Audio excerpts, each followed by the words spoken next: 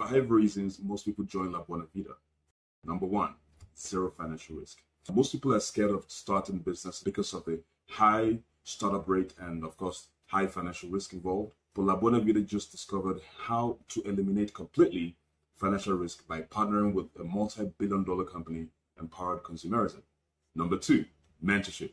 90% of businesses fail because of lack of mentorship.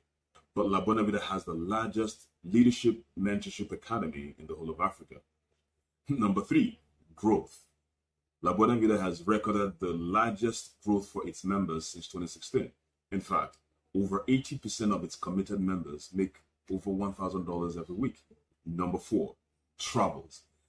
La Buena Vida has made traveling a lifestyle for all of its committed members. They have a quote by St. Augustine that says, The world is like a book, those who don't travel read only one page. Number five, charity.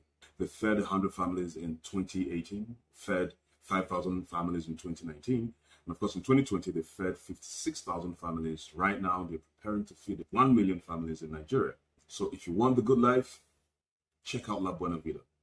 Not the fake one, but the authentic La Buena Vida project.